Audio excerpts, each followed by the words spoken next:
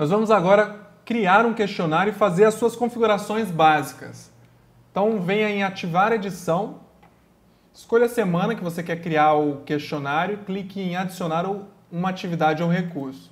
Selecione questionário, adicionar.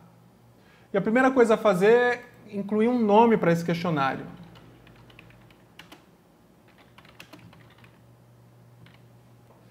Em introdução, você vai colocar um texto pro, de orientação aos seus alunos que vai aparecer antes do questionário iniciar. Você pode exibir essa descrição na página inicial ou não, ativando este checkbox. A gente vai mostrar algumas configurações básicas do questionário, começar pela duração, que é a configuração mais importante. Nesta área, você vai definir quando o questionário inicia e quando encerra. Para isso, você clica aqui no habilitar e define a data. Gente vai colocar. Você também pode definir um tempo para a realização do questionário aqui neste limite de tempo. Habilitando, você pode colocar 50 minutos e aí, durante esses quatro dias em que o questionário vai estar aberto, quando o aluno iniciar o questionário, ele tem 50 minutos para realizar esse questionário.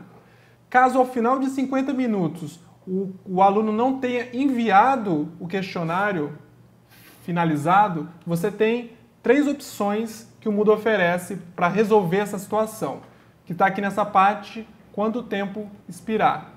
Você pode fazer com que a tentativa seja enviada automaticamente pelo Moodle, você pode definir um período de carência para que a tentativa seja enviada, mas que ele, o aluno não pode modificar as questões. Aí, nesse caso, você, aqui embaixo você define qual tempo de carência do envio, pode ser um dia, uma hora, uma semana.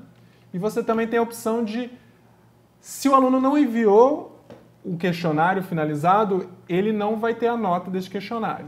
A gente sugere que utilize a primeira, que o Moodle envie automaticamente a resposta caso você esteja utilizando o limite de tempo, ok? Em nota, você pode definir quantas tentativas o aluno pode, pode ter para realizar o questionário. Pode ser limitado, uma tentativa ou quantas você definir. Caso seja mais de uma tentativa, você pode definir como ele vai ser avaliado, se pela nota mais alta, pela média pela primeira tentativa ou pela última tentativa. Então, fique à vontade para escolher caso você permita que ele tenha mais de uma tentativa do questionário. Em layout, no item ordem da pergunta, você pode definir como as suas perguntas vão aparecer para o aluno, tanto no, na forma como você editou ou de forma aleatória.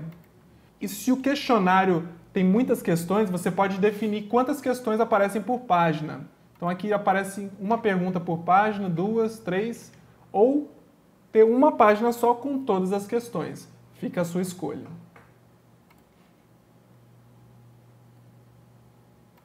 Em comportamento da questão, o item misturar entre as questões serve apenas para as questões de associação e de múltipla escolha. E caso você defina como sim, ele vai misturar todas as alternativas dessas questões. Em como se comportam as questões, você vai deixar como padrão feedback adiado e posteriormente vai fazer um vídeo só explicando essa parte. Em opções de revisão, aparece em que momento o aluno vai receber informações relacionadas ao questionário. Então, por exemplo, aqui, a nota ele vai receber após realizar a sua tentativa nesse caso. Se você não quer que ele receba a nota nesse momento, é só desabilitar, que é o que a gente sugere, porque ele pode receber as notas e compartilhar com seus colegas. Então, o ideal esteja disponível só depois do fechamento do questionário.